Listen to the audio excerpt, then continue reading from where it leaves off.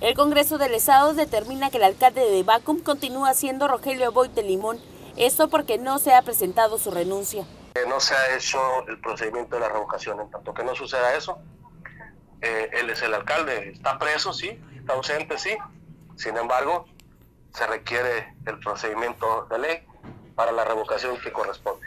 Para los diputados locales, Francisco Villanueva no se encuentra en las condiciones para tomar el cargo después de la revocación de Aboite Limón. No puede ser porque la ley no lo permite. Eh, solamente puede ser suplente, interino o, suplente eh, un miembro del cabildo, repito.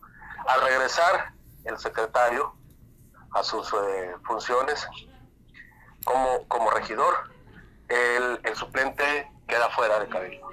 Alonso Montespiña, legislador y presidente de la Comisión de Gobernación, explicó que será el próximo 4 de junio cuando se dictamine el proceso que se realizará en el municipio de Bacum.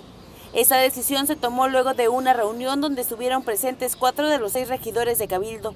Se trata de Benita Aldama, Daniela Flores, Víctor Muñoz y Eusebio Matus. Nosotros estamos apostando al oficio político, a la capacidad y a la voluntad de todo el Cabildo para hacer valer y respetar el, mandato del pueblo. Nosotros queremos que los derechos eh, que el Cabildo ha, adquirió por voluntad popular sean respetados y, los vamos a hacer válidos. Cabe señalar que el nuevo alcalde de Bacum será elegido y deben ser parte de Cabildo, ya sea un regidor o la síndica.